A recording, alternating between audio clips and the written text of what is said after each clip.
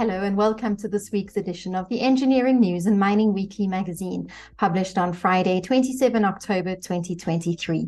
In this week's cover article, Engineering News and Mining Weekly senior online writer Cameron Mackay goes inside the Energy One Stop Shop and its drive to fast track electricity projects.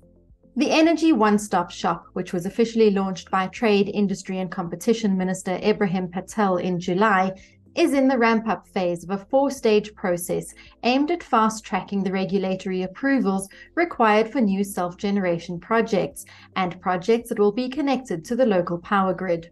The engineering news features focus on stainless steel, where more education initiatives are needed in local industry.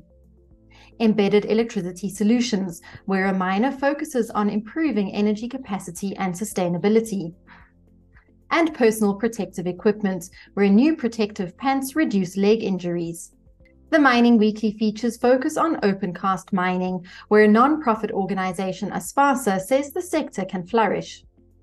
And a profile of Minerals Council South Africa, where nurturing skills for sustainable South African mining is imperative.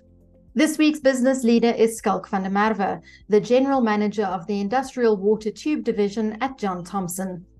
And as this week's cartoon shows, with no sense of irony, Mineral Resources and Energy Minister Gwede Mantashe continues to champion gas exploration and development while fighting internal cabinet power struggles using the analogy of the warning that mice offer when running away from dangerous levels of methane underground.